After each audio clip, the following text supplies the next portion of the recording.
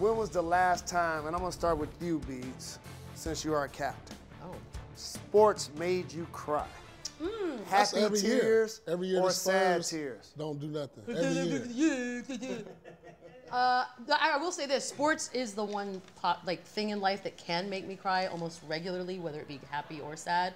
Uh, I cried when the Spurs lost Game Seven to the Clippers. That was probably the most. Re- oh no, Manu retiring was probably the most recent, and it was actually one year premature because we were in San Antonio. It was the year that Zaza murdered uh, Kawhi, and I, we all thought, as Spurs fans, we thought that was going to be Manu's last year. So I cried at the end, a couple minutes of that game, but then of course he came back.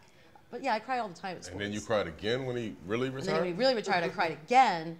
Dang. I have a problem. We, we got to get we got to get Manu on one of these episodes. Yeah, I know. Just just crying. Sports are because they give you goosebumps. Sometimes that turns into tears. What about you, Mr. Big Shot? Man, I'm I'm I'm gonna be honest with you, man. I'm not a crier at all. Uh, I wish I was a little more emotional, to be honest with you, and sensitive. We do too, John. but I'm in not. that category, But I'm not.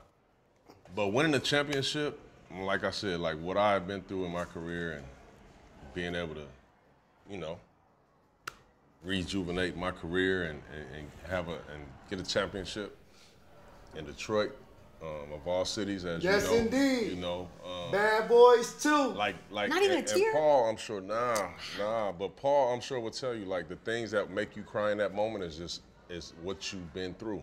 Same reason why you cried, you know what I mean, not getting over the hump, but it's just it's it's a combination of so many things, man, and so many triumphs and, and, and hardships and and that moment, like you make it, you do it. You know what I'm saying? And like that that's what makes you emotional. I feel like Paul cries a lot. I, no, I mean, the la- I've cried a lot of times, but like in my my room, but like publicly. you didn't do Like the when, Joel when, I, Embiid when I crying on turned, like, when I, shoulder like, after when raised my jersey, when I, my jersey got retired, I remember crying back in my room. So you When I- wait till my you get to first your room? game, my mm-hmm. first game back in Boston, I remember crying. But like publicly was the time when we won a championship, but the actual, not that night, but the next year when I finally had a chance to see the trophy and hold the trophy. Mm. Because like Chauncey said, it, it wasn't the fact of winning the trophy; it was the things that I put myself through to get to that mm-hmm. point.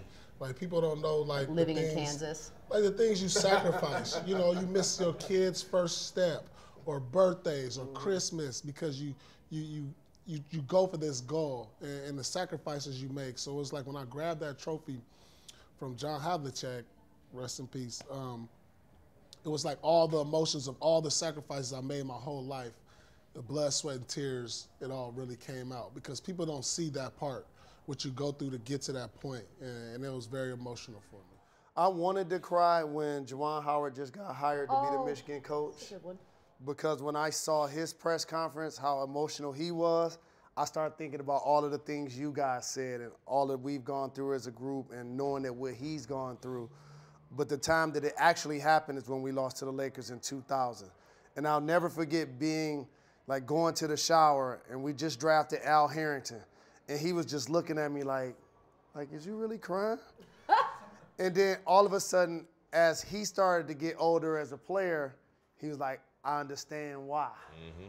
Mm-hmm. I, I because I didn't know if I would ever get to that point again, and I didn't.